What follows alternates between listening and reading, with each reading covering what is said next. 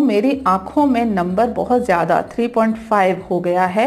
इसलिए मुझे ड्राइविंग में या कोई अदर एक्टिविटीज़ में परेशानी हो रही है। इसके लिए कोई सुझाव दीजिए। मुझे बहुत ज़्यादा दुख महसूस होता है जब आयुर्वेद के पास लोग तब आते हैं जब बहुत सीरियस कंडीशन हो जाती है। अगर किसी व्यक्ति को आँखों को हेल्दी बनाए रखने के लिए जिसकी आँखें ऑलरेडी हेल्दी है जब उनको टिप्स देते हैं तो लोग फॉलो नहीं करते। लेकिन जब आँखों का नंबर बहुत ज़्यादा बढ़ जाता है आपको आयुर्वेदिक ट्रीटमेंट स्टार्टिंग में ही ले, ले लेना चाहिए था। जब आपका स्टार्टिंग आपको चश्मा लगना चालू हुआ तभी आपको आयुर्वेदिक ट्रीटमेंट पे आ जाना चाहिए था। अब आपकी कंडीशन ज़्यादा सीरियस हो गई है। फिर भी आँखों के अंदर जो प्रॉब्लम बढ़ती जा रही है उसको एटलीस्ट रोकने के लिए कुछ मैं मेडिसिन आपको बता रही हूँ। पहली चीज़ तो आपको एक्सरसाइज करनी है आँखों की।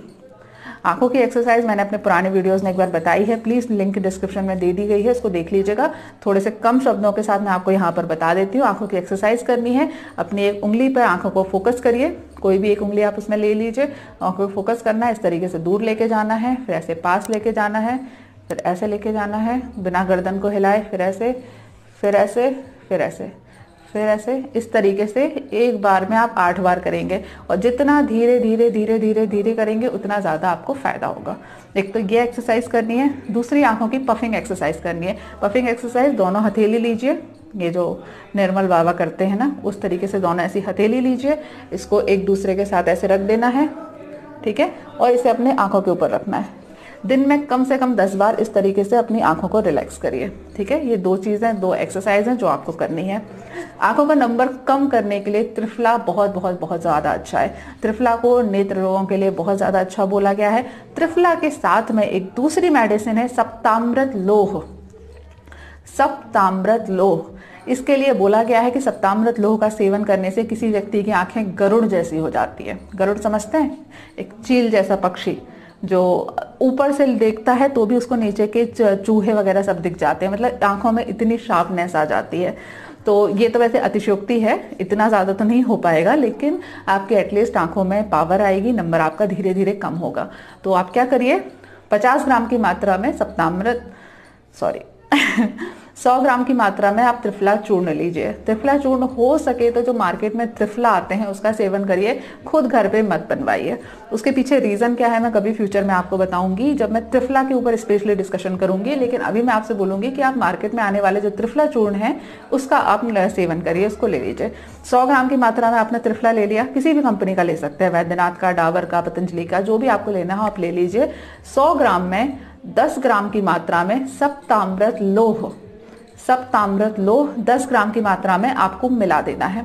अब सप्तामृत लोह जो है 10 ग्राम की मात्रा में टैबलेट फॉर्म में भी आता है कई बार, अलग का कुछ कंपनी का।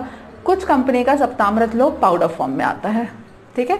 तो आप हमेशा क्या करिए, उसमें पीछे लिखा रहता है कि कितने ग्राम है तो उस चीज़ को देख लीजिएगा। पाँच ग्राम की पैकिंग भी होती है, पाँच ग्राम को वो लोग डब्बे छोटी छोटी गोलियाँ बना देते हैं छोटी छोटी करके किसी किसी का पाउडर फॉर्म में आता है तो ये आपको देखना पड़ेगा, ठीक है? सौ ग्राम आपने त्रिफला लिया, उसमें आपको दस ग्राम की मात्रा में सप्तामृत लोह ले लेना है। अच्छे से दोनों को मिक्स कर दीजिए कि पूरा 110 ग्राम का आपका कंपोजिशन बन गया। इसको आपको एक एक चम्मच की मात्रा में दिन में तीन बार लेना पड़ेगा। एक एक चम्मच की मात्रा में दिन में तीन बार आपको ये पाउडर का फॉर्म पाउडर जो कंपोजिशन बना, इसको आपको लेना है। गुनगुने पानी के साथ लीजिएगा। एक चम्मच की मात्रा में दिन में तीन बार गुनगुने पानी के साथ में आपको लेना है। आँखों की एक्सरसाइज करनी है और इस मेडिसिन का प्रयोग करना है। ठीक है? इसके साथ आँखों का नंबर और ज़्यादा ना बढ़े। इसके लिए हफ़्ते में कम से कम दो बार मतलब कि हर तीन दिन छोड़कर आँखों के अंदर रात को सोने से पहले शहद लगाया करिए। आँखों के अंदर सोने से पहले शहद लगाना है। शहद कैसे लगाना है? थोड़ा सा शहद आप अपनी हथेली पे ले लीजिए थोड़ा सा उसमें लिया उंगली में और काजल की तरह इसे अपनी आँखों में लगा दीजिए। दोनों इसमें। शहद बहुत बहुत बहुत ज़्यादा जलता है। थोड़ा नहीं, बहुत ज़्यादा जलता है। बिल्कुल आप तो नानी याद आ जाएगी जैसी आँख में आप लगाओगे। लेकिन वो बहुत ज़्यादा ज़रूरी है, उससे आँखों का बहुत आपको आँसू निकलेंगे। बहुत आँसू निकलेंगे। पूरे आँख से आँसू निकलना चालू हो जाते हैं। लेकिन एक दो सेकंड, दस पंद्रह, एक दो सेकंड नहीं, दस पंद्रह सेकंड के बाद बिल्कुल आँखें ठंडी पड़ जाएँगी। आँखों के अंदर जितना इन्फेक्शन है, जितना जो कुछ भी भरा हुआ है आँखों के अंदर, वो खत्म हो जाएगा और आपकी आँखें बिल्कुल ठंडी पड़ जाएँगी। बहुत बहुत बहुत ज़्यादा फ़ायदा करता है। इसके पीछे लॉजिक क्या है? आयुर्वेदिक में आपको बता देती हूँ। आयुर्वेद में आचार्य सुश्रुत ने एक रेफरेंस दे रखा है कि आँखों के अंदर जितनी बीमारियाँ होती हैं, चाहे वो आँखों का नंबर बढ़ना हो या फिर कंजक्टिवाइटिस टाइप के रोग होना हो मतलब आँखों के अंदर जितनी भी बीमारियाँ होती है, वो हमेशा आँखों में होने वाले ब्लड सर्कुलेशन के अवरोध के कारण होती हैं। ये आचार्य सुश्रुत का रेफरेंस है। उन्होंने एक श्लोक लिखा है, सिरा अनुसारी भी दोषे। मतलब जब दोष वाद पित्त का आदि जो दोष होते हैं, वो सिराओं में स्थित हो जाते हैं। सिराओं मतलब ब्लड सर्कुलेशन ब्लड सर्कुलेशन में कहीं भी किसी भी प्रकार का अवरोध उत्पन्न करते हैं, तभी आपको आँखों के रोग होते हैं।